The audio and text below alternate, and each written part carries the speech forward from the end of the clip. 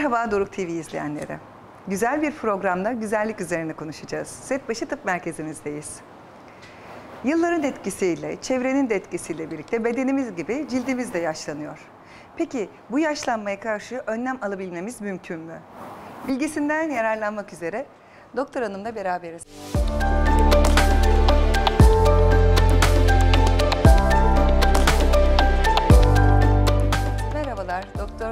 Türkü Günay, dermatoloji uzmanımız. Hoş geldiniz. Sağ olun. Merhaba. Nasılsınız? İyiyim. Siz nasılsınız? Ben de iyiyim, teşekkür ederim. Yaşlanmadan bahsettik. Cildin yaşlanması, derinin yaşlanması. Nedir derinin yaşlanması? Ee, deri yaşlanması cildin yapısında bulunan hücrelerin zamanla e, geri dönüşsüz olarak diyebiliriz. İlerleyen süreci, fonksiyonlarını ve sayıların kaybetmesiyle birlikte ortaya çıkan bir e, kesintisiz bir süreç diyebiliriz. Deri yaşlanması nasıl oluşur? E, deri yaşlanması bizim cildimizin en üst tabakasında epidermis dediğimiz tabaka bulunmakta. Bu tabaka e, normal sağlıklı bireylerde ortalama bir ay gibi bir süreçte dökülüp alttan gelen sağlıklı hücrelerle tekrar yer değiştirmekte. E, insanlar yaş aldıkça bu döngüde uzama gör- görülüyor. Bir aylık süreç daha uzun e, sürede tamamlanıyor. Böylelikle cildimiz daha kaba ve e, daha pürüzlü, e, daha mat bir görüntü kazanıyor. Ayrıca dermis tabakasında bulunan kollajen ve elastin liflerin zamanla fonksiyonlarını kaybetmesiyle birlikte deride kırışıklıklar, yer çekiminin de etkisiyle sarkmalar görünmekte.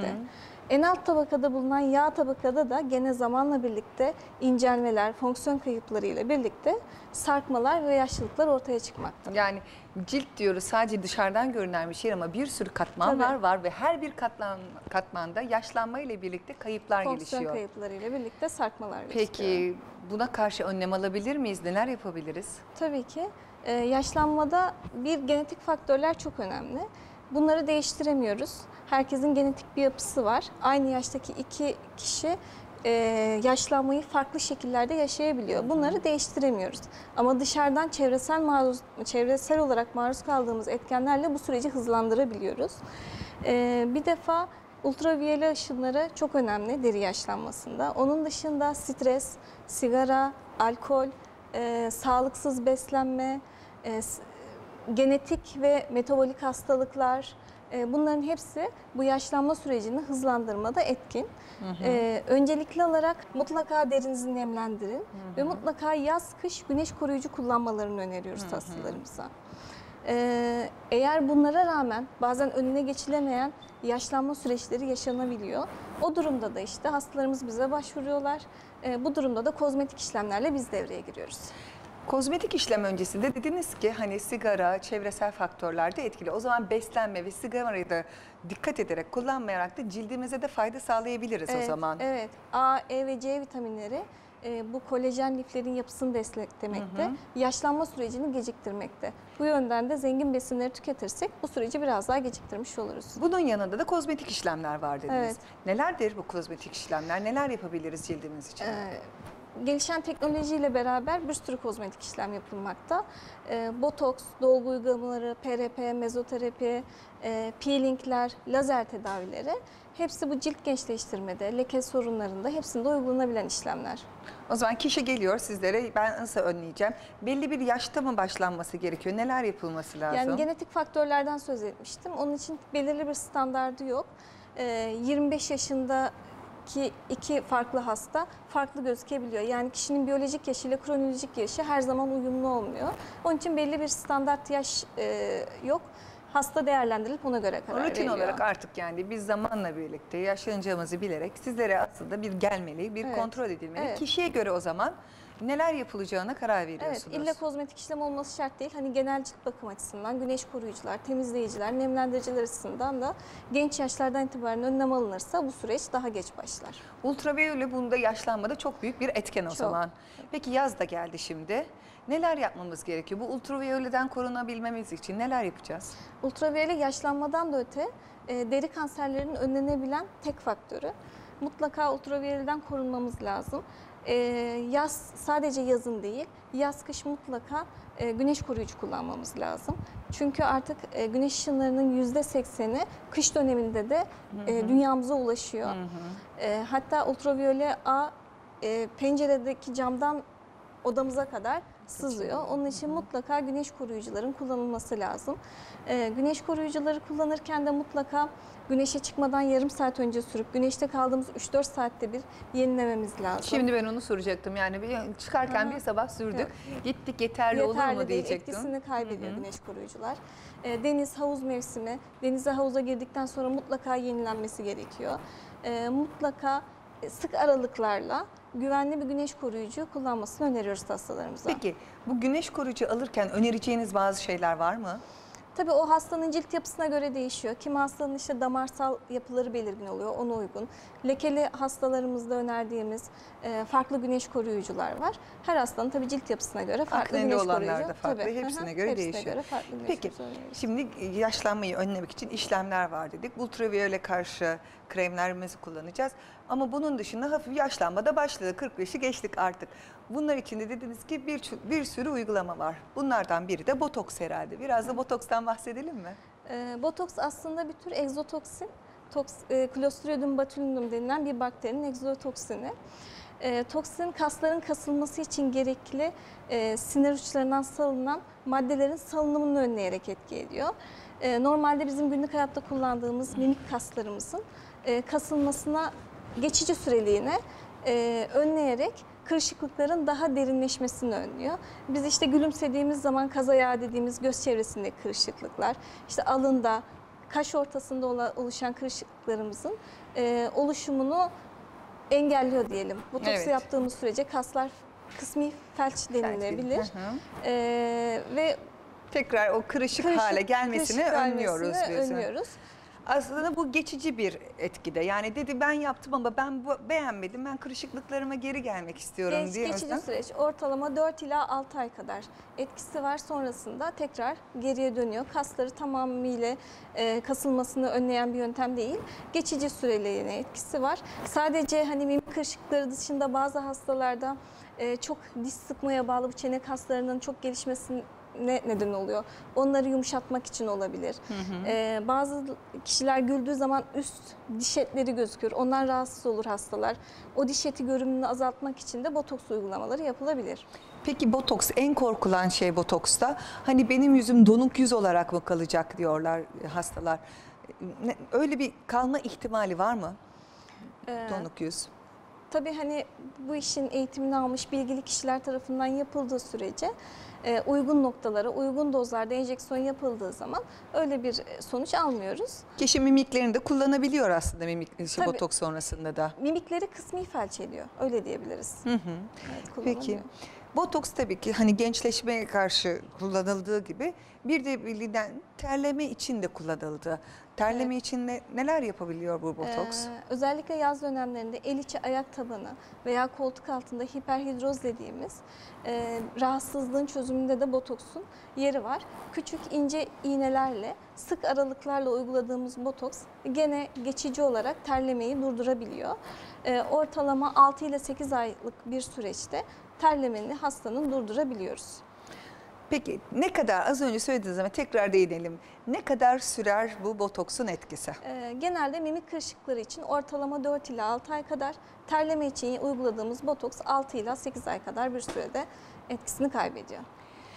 Bir diğer yöntemden bir de bahsettiniz. Dolgu dediniz. Bu dolgu nedir? Ee, dolgu enjeksiyonları e, hyaluronik asit bazlı genelde enjeksiyonlar yapılıyor. Ee, zamanla kaybolan demiştim hyaluronik asit, kolajen ve Hı hı. elastin liflerin kaybıyla, yağ dokusunun kaybıyla oluşan sarkmaların e, oluştuğu durumlarda botoksla elde botoksla sonuç elde edemiyoruz. O durumlarda dolgu uygulamalarına başvuruyoruz. E, dolgu uygulamaları hyaluronik asit normal bizim vücut yapımıza ait bir e, molekül olduğu için genelde kişilerde alerjik reaksiyona neden olmaz. Etkisi botoksa göre daha çabuk gözükür. Botoks uyguladıktan sonra ortalama 3 ila 7 günde yavaş yavaş oluşmaya başlar etki. Ama dolgu uygulandığı anda sonuç görülmeye baş, göz- hastada uyguladığımız zaman sonucu görürüz. Ee, hyaluronik asit bazlı e, destek uygulamaları diyebiliriz. Kırışıklıklar için dolgu kullanılıyor mu? Derin kırışıklıklar için, derin yerleşmiş kırışıklıklar için, e, nazolabiyal kırışıklıklar dediğimiz işte burunla üst dudak arasındaki kırışıklıklarda, Hı hı. gene alt dudaktan çeneye doğru olan kırışıklıklarda, e, elmacık kemiği belirginleştirmede, çeneye e, kontür vermede, gözaltı morluklarını gidermede, e, derin akne sivilce izlerinin ta- e, tedavisinde dolgu uygulamaları yapılabilir. Peki dolgu uygulamayı yaptık. Ebediyete kadar sürer mi yoksa onun da bir süresi var mı botoks gibi? Süresi var onun da ortalama uygulanan maddenin e, içeriğine bağlı olarak 6 ila 18 ay kadar kalıcılığı mevcut. E, dolgu yaptık, hasta beğenmedi. E, diyelim dudağını şekillendirdik hastanın. Ben bu halini beğenmedim. Dudağımın eskiye dönmesini istiyorum dedi. Hyaluronidaz denilen bir madde var. Dolguyu anında eritebiliyoruz. O yüzden korkmaya gerek yok. Gerek Dolguyu yok. yapar sonra da tekrar geri etkisine geri tekrar alabiliriz. geri dönüşlü. Evet. Dolgunun dışında başka bir de çok son günlerde en fazla yapan PRP uygulamalarından. PRP uygulamalarından da biraz bahseder misiniz? Ee, PRP normal bizim kanımızda trombosit denilen e, beyaz kan hücreleri bulunmakta. Bunlarda e, hasarlanan dokuya normalde de işte e, elimiz kesildi. Hasarlı dokuya bu trombositler gelerek orada büyüme faktö- faktörlerini e, ortaya çıkararak o dokunun iyileşmesini sağlıyorlar. Aslında trombositlerin bu fonksiyonundan faydalanıyor. Hastadan alınan kan özel işlemlerden geçirilerek normal kandaki trombosit miktarının ortalama 2 ila 4 katı daha fazla miktarda trombosit elde ediliyor. Bu da tekrar hastaya e, küçük iğnelerle e, mezoterapi gibi küçük iğne enjeksiyonları şeklinde veriliyor hastaya. E, bu da gene ince kırışıklıklarda, e, lekelenmelerde, cildimde işte hafif böyle bir parlaklık olsun, dolgu botoks istemiyorum ama cildim böyle bir parlasın, hafif bir ışıltı istiyorum diyen hastalarda uygulanabilir. Peki etkisi ne kadar sürede başlar? Ne kadar süre devam eder PRP'yi? Ne kadar sıklıkla uygulayalım? E, PRP ortalama 2 ila 4 hafta kadar, e, 4 hafta arasında uygulanıyor. Ortalama 3 ila 4 seanstan sonra etkisi gözükmeye başlar. Tedavi süreci hastanın hastaya değişir. E, saç tedavisine de uygulanabilir. Saç tedavisinde e, süreç tedaviler biraz daha uzun sürebilir. E, PRP'yi yaptık, bitti. Sonrasında ortalama 10-12 ay gibi bir sürede tekrar uygulama öneriyoruz ki hani süreç devam etsin diye. Peki yaşlanma dedik, cildin yaşlanması dedik, kırışıyoruz dedik. Bugünlerde boy boy görüyoruz her yerde. Gençlik aşısı, gençlik aşısı. Biraz da gençlik aşısından bahseder misiniz? Ee, gençlik aşısı aslında bir tür yüzeyel dolgu uygulaması diyebiliriz. Ee, gene işte botoks ve dolgudan çok çekinir hastalar, yaptırmak istemez. Evet. Ee, işte mimiklerim gidecek, işte dudağım şişecek falan diye korkarlar. O da gene işte bir ışıltı olsun cildimde, ince çizgilerim kaybolsun, e, boyundaki kırışıklıklarım e, biraz daha e, görünürlüğü azalsın diye isteyen hastalarda gene mezoterapi şeklinde uygulanan uygulama. Ee, peki e, bu uygulamalarda genelde dikkat edilmesi gereken uzman hekimleri bu işlerini Evet, yapması. kesinlikle. Bu merdiven altında birçok yerde de Evet. bunların yapıldığını duyuyoruz. Evet. Sizlere nasıl ka- komplikasyonlarla geliyorlar? Nasıl vakalarla karşılaşıyorsunuz? Ee, bir defa yani botoks uygulamasından sonra işte göz kapağı düşüklüğü olabilir. Ee, kaşta e, aşırı kalkmalar görülebilir. Ee, onun dışında aslında dolgu komplikasyonları daha şiddetli seyrediyor.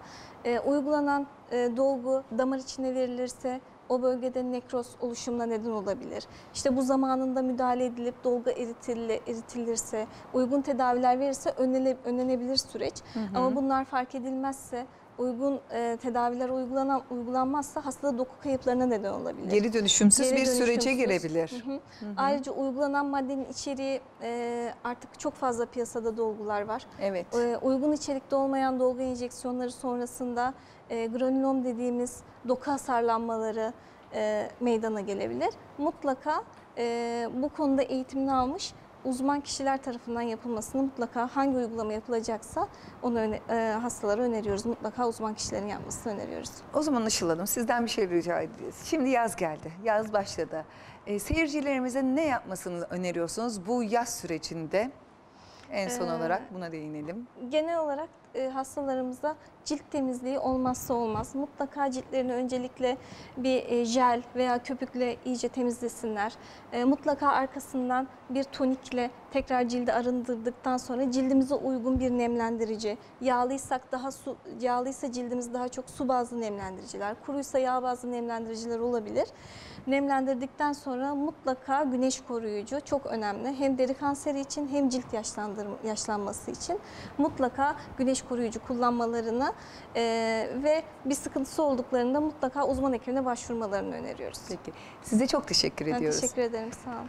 Değerli Doruk TV izleyenleri, yaşlanırken cildimizin yaşlanmaması için bunu nasıl önleyebiliriz konusunu bugün konuştuk. Değerli konuklarımla birçok değişik konuyu konuşmak üzere sizlerle tekrar karşınızda olacağız. Her zaman söylediğim gibi anda kalın, anı yaşayın, sağlıklı kalın, hoşça kalın.